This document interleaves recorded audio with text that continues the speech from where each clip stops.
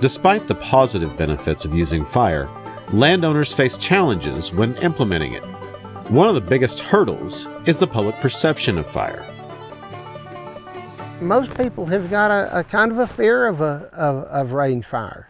And I think that's one reason that a lot of people are reluctant to use fire is because we have been brought up through the years, and I as a kid especially, trying to put out these range fires because before we had the equipment to actually deal with range fires, we didn't, it might take your barn, your pens, your house, and everything else. Unplanned or poorly planned fires can be dangerous. A burn that jumps a fire line can not only put your property at risk, but that of your neighbors. I think the use of prescribed fire and the liability that, that is associated with it really maybe starts or at least is, is escalated because of fragmentation of land and, and what was once a fairly open and maybe a, free range type of an environment now is uh, dissected by many different things, whether that be roads, cities, any kind of change to the landscape, people building homes where they want to be out in the country. You don't want to make your neighbors mad any more than they're going to be anyway, so we try real hard not to let that happen. Despite weather forecast, fire crews need to be alert at all times for changing conditions. If the wind changes and you you lose it, you could spend days trying to get it put out. In my mind, the cinders that are generated when you do a, a good hot fire, then flying over your fire line to me, that's the biggest challenge. A little, there's some topographical challenges. Uh, this is this is pretty nice, clear, flat country. It, it's really a piece of cake to burn, but most of the hill country is got the deep draws and the high hills, and it that creates challenges. Having a proper burn plan, good fire breaks, enough resources, and burning with the prescribed weather conditions is critical to keeping a fire under control. But the simplest solution for nervous neighbors is to keep them informed with good and frequent communication. One thing I always tell a person if he's getting ready to burn, contact all your neighbors. Everybody surrounding you that's got a piece of land or a house adjoining your, where you're going to be burning. Let them know your plans so that they won't get real upset if they see smoke half mile away. An even better solution is to get them involved. With the neighbors being involved, it probably alleviates some of the, the liability, but we try to be very careful. Probability is pretty good when you do a burn. If there's a lot of people in the county that are members of the Burn Association, then the neighbor is probably going to be a member and have a really good understanding of the value of fire. And that goes a long ways in reducing your liability. For those with neighbors that are opposed to prescribed fire, landowners must be especially careful, both when burning and interacting with that neighbor.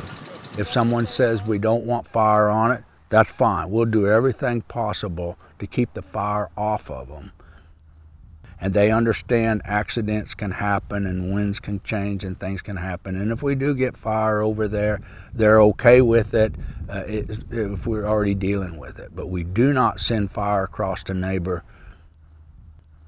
that, that we haven't never talked to before. One of my neighbors where I burned the pasture, he flat out told me and said, if this would have gotten on me, I'd have seen you. And I said, I know you would have. That's why we didn't let it on you. A completed burn plan will help landowners identify problem areas and help them focus on the safest conditions to burn.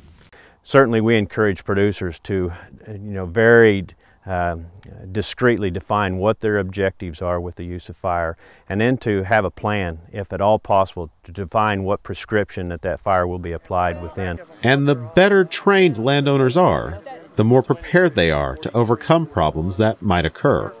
I still feel like we have a need for training. That's that's probably one of the big issues that we have right now is to get our people trained to know what what to expect out on a burn. If you're unsure of that, whatever your capabilities are, whether that's climatic or whether it's in the way of machinery or help, then you need to find you know other resources to help you get that job done.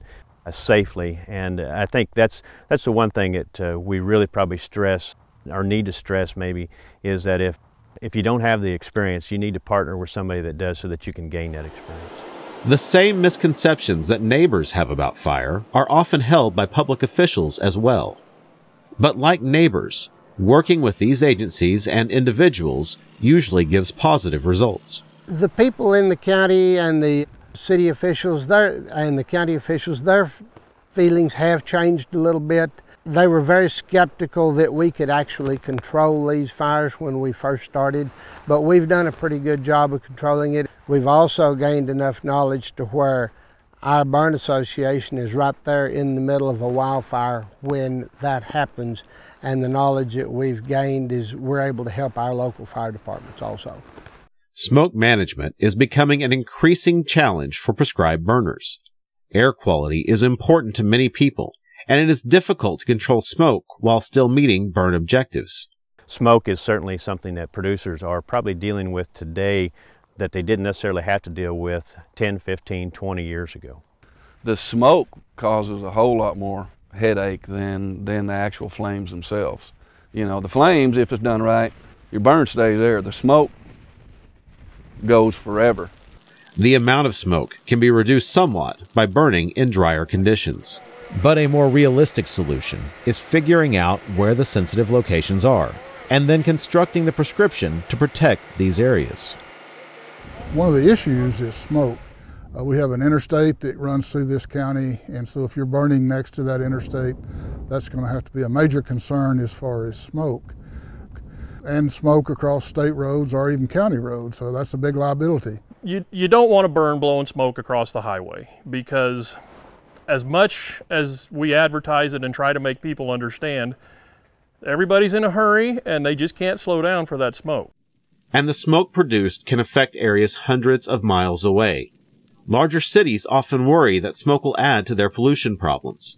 Oklahoma and Kansas have websites set up to help producers better predict where the smoke will go. We've, we've got to keep burning it. It's the only practical way to keep it in the grass business. Otherwise, as I said, it's going to turn into a jungle. Some people are going to be upset by that, but if everybody will just practice a little common sense, we can all get along. With a little bit of effort, landowners can overcome all these challenges and return fire to the Great Plains.